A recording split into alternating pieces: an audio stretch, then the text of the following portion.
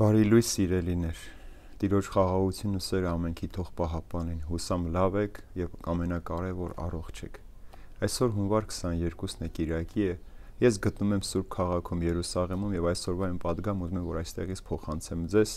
Եվ որ ընթերցվածը Հովանեսի ավետարանի 3-րդ գլխից է, որտեղ առաքյալն հետեւյալն է մեզ падգամում։ Եվ դատաստան այսպես իսկ է, որ լույսը եկավ աշխարհ, սակայն մարդիկ խավարն ավելի սիրեցին, քան լույսը, որովհետև իրենց գործերը չար էին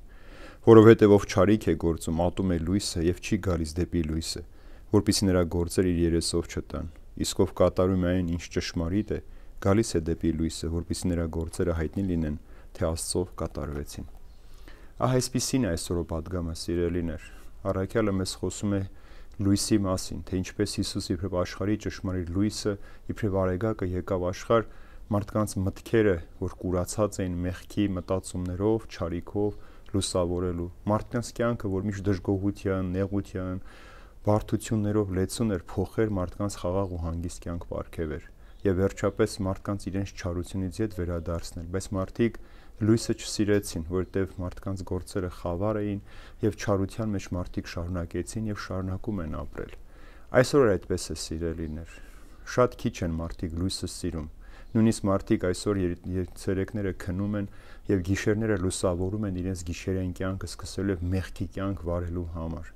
Այնպես էլ դալերի ամբողջ հոլոգույթում Քրիստոսի падգամը 3 այսօր վաղ եւ հավիտիա նույնը պիտի լինի, որ ինձ եք գոյեք բոլոր հոգնածները, ծանրաբեռնվածները, ես պիտի հանգստացնեմ ձեզ բայց մենք այլ տեղերում պիտի շարունակենք փնտրել մեր հանգիստը, քանի դեռ իրականում Քրիստոսին չենք ճանաչել։ Ճանաչել համար պետք է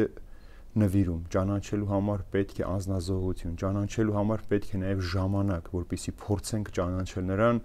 ում մասին որ խոսում են, պատմում են, քարոզում են, ում անունով որ աշխարհում բազում գործեր ու հրաշքներ են կատարվում։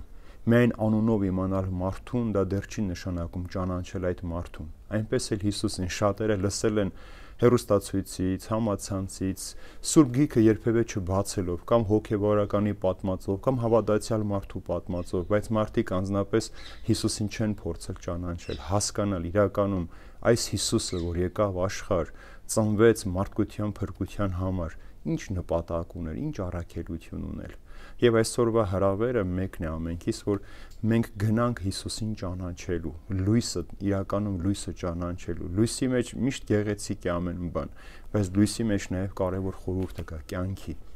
առանց որի հնարավոր չէ այս աշխարհի մեջ մեկ օր ուրախ ու խաղաղ անցկացնել։ Դա է պատճառը, որ խավարը ամեն օր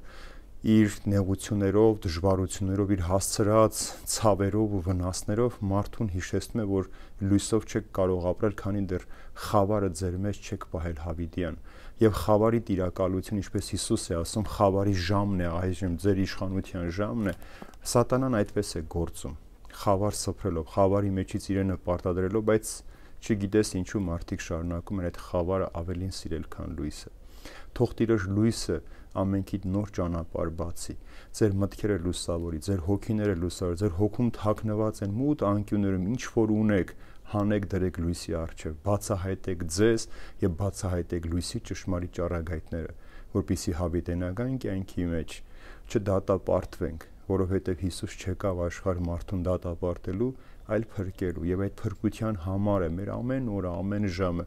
որpիսի մենք իբրև քրիստոնյաներ քայլենք լույսի ճանապարհով, մնանք լույսի մեջ եւ լույսով լուսավորենք մեր դիմացի մարդուն։ Այժմ եւ հավիտյանս հավիտենից